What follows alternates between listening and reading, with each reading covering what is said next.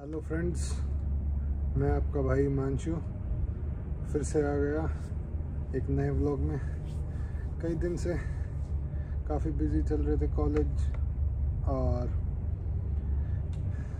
थोड़ा काम तो कम ही हो रखा है। रिसेशन तो यहाँ पे भी इफ़ेक्ट डाल रहे हैं। तो फिर सोचा थोड़ा टाइम था, क्यों ना आपके लिए एक इंफॉर्मेटिव वीडियो बनाऊँ। और कुछ एक दो भाइयों के फ़ोन आ रहे थे कि क्या क्या डॉक्यूमेंट लाएँ, क्यों दो तीन दोस्त आ रहे हैं अभी? नेक्स्ट जो मेन टेक है तो उसके लिए आ रहे हैं तो क्या क्या डॉक्यूमेंट लाएँ? फिर को लगा, क्यों ना सबके लिए ही एक व्लॉग बनाऊँ। जिसमें आपको बताऊँ तो मैंने लिस्ट बनाई है। एक मिनट दो, फिर आपको बताना स्टार्ट करता हूँ। और कुछ आज मौसम थोड़ा सा, कई दिन के बाद थोड़ा अच्छा है तो इसलिए बाहर बैठ के अपने बैक यार्ड में बैक यार्ड में बैठ के ब्लॉग बनाते हैं। तो सबसे पहले तो आपको अपने basic document Aadhaar card, PAN card birth certificate ये सारे लाने हैं। और ड्राइविंग लाइसेंस भी। अगर आपके पास बिना चिप वाला ड्राइविंग लाइसेंस है तो पहले उसको चिप वाला लाइसेंस बनवा लें, क्योंकि यहाँ चिप वाले को ही वैलिडेट करते हैं। और ये आपके बहुत काम आएगा। मैं आपको आगे बताऊँगा इसके बारे में। और आर सी फिर आपको ड्राइविंग लाइसेंस का एक्सट्रैक्ट मिलेगा। वो भी लेके आने वो भी आपको काफ़ी काम आएगा। मैं आपको आगे बताऊँगा। अच्छा उसके बाद आपको आपने वैक्सीनेशन करा रखी है अपनी। दोनों वैक्सीनेशन जोन सी भी करा रखी हैं। दो कौन कौन सी भी मैं भी, मेरे भी ध्यान से उतर गया। तो आपको अपने दोनों वैक्सीनेशन सर्टिफिकेट लाने हैं, क्योंकि चेक कर लेते हैं। फिर आपको अपनी सारी मार्कशीट, जितनी भी आपकी मार्कशीट्स हैं ओरिजिनल लानी है, उस पर आप लेमिनेट चाहो तो क्लियर लेमिनेशन करा सकते हो।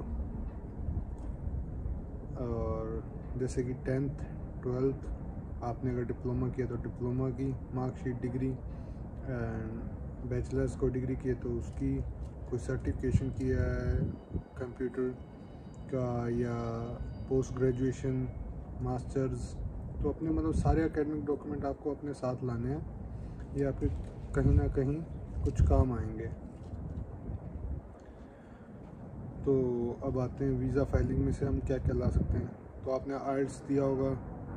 तो अपने आइल्स का T R F score card जो आता है, उसका प्रिंट लाना है और मेडिकल रिसिप्ट, जब आप मेडिकल बुक किया होगा तो आपको रिसिप्ट मिली होगी जो आपको पे की होगी और मेडिकल इन्फॉर्मेशन लेटर जो उन्होंने रिपोर्ट टाइप में दी होगी आपको वो मेरे ख्याल से पीडीएफ फ़ाइल में मिलेगी आपको, उसको प्रिंट करा के फिर अपने साथ।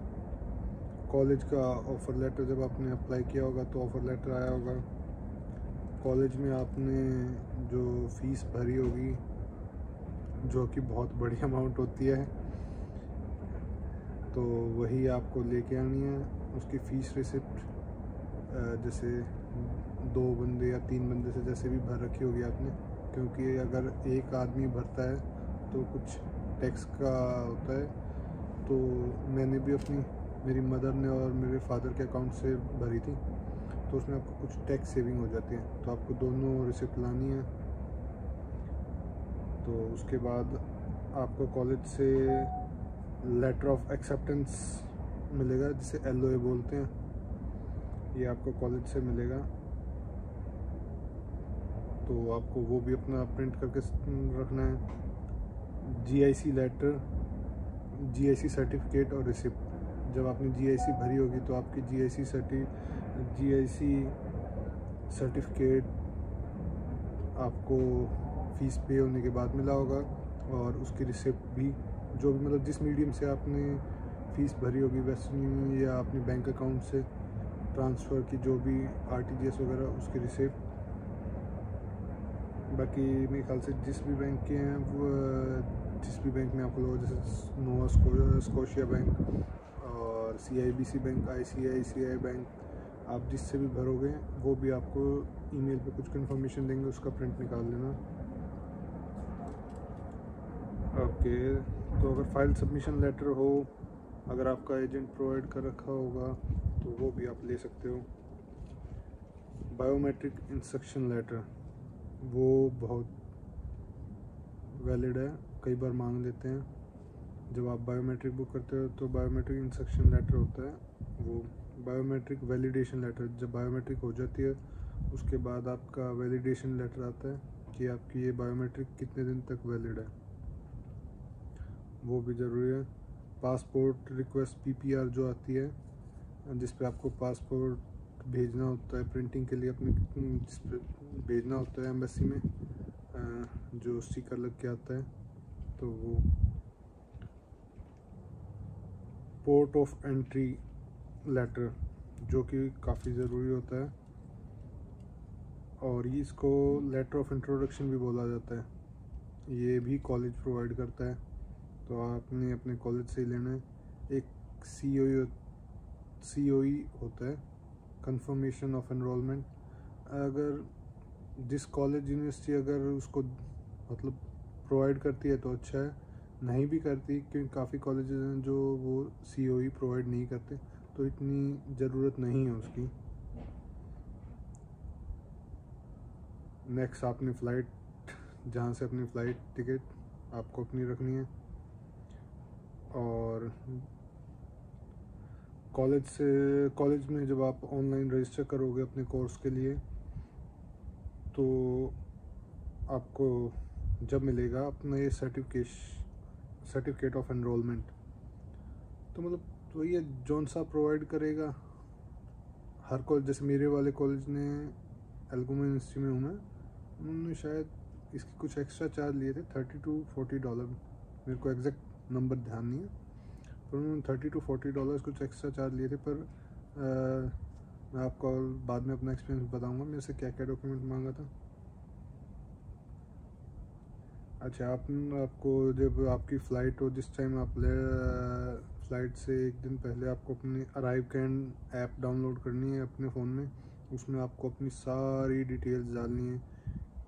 कौन सा कोर्स कौन सी कॉलेज कहाँ जाओगे, जो भी एड्रेस आप प्रोवाइड कर रहे हो तो आपको अपनी बेसिक सारी डिटेल डालनी है। उसमें फिर लास्ट में एक बार कोड जनरेट होगा। उस बार कोड का स्क्रीनशॉट भी ले लीजिए और प्रिंट हो उसके प्रिंट भी, क्योंकि वो मांग लेते हैं। यहाँ लैंड होने के बाद भी और वहाँ जब आप इंडिया से फ्लाई करोगे, जब भी आपको पूछ सकते हैं।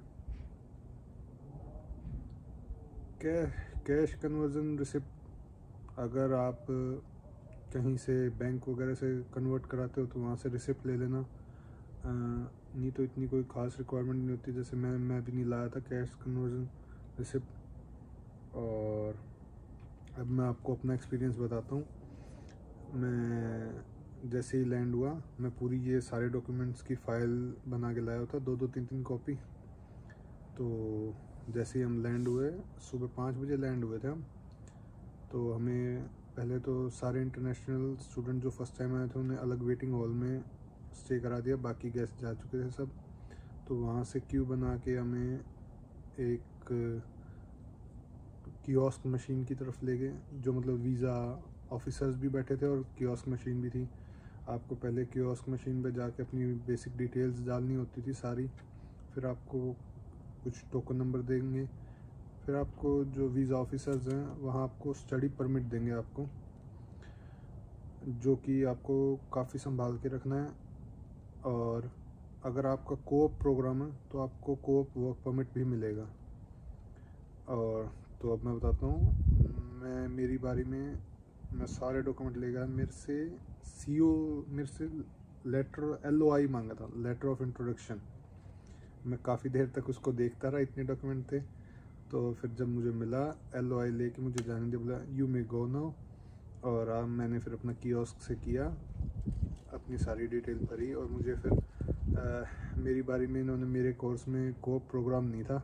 तो इन्होंने जब भी मेरे को पता नहीं कैसे बाई मिस्टेक से मेरे को वर्क को वर्क परमिट भी दे दिया और स्टडी परमिट भी। पर मैं जब यूनिवर्सिटी गया कि मेरे को वर्क परमिट मिला है, वो बोले, आपका कोर्स तो वर्क परमिट की वैलिड नहीं है, ये गलती से दिया होगा, इसका कोई यूज़ नहीं है। तो इसलिए आपको ये सारे डॉक्यूमेंट अपने एक फ़ोल्डर या फ़ाइल में डाल के लिया ना, जो आपको ज़रूरी है। ओके फ्रेंड्स तो मैं नेक्स्ट वीडियो में आपको बताऊँगा, जो आपको कनाडा में लैंड होने के बाद डॉक्यूमेंट बनवाने वो कौन कौन से हैं? चलो, मिलते हैं फिर नेक्स्ट व्लॉग में। बाकी आप, आज मौसम अच्छा है, अगर आप देखना चाहो तो।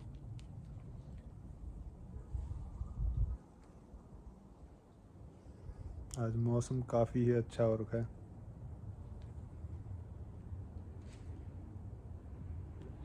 ओके फ्रेंड्स मिलते हैं फिर नेक्स्ट व्लॉग में। till then like share and subscribe.